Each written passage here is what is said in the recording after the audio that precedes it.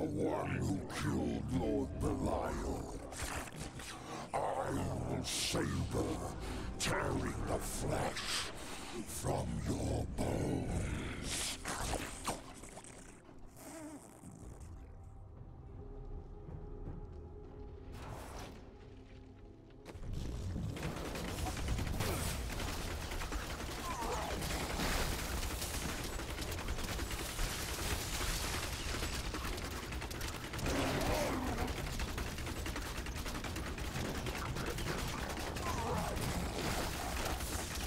still waiting.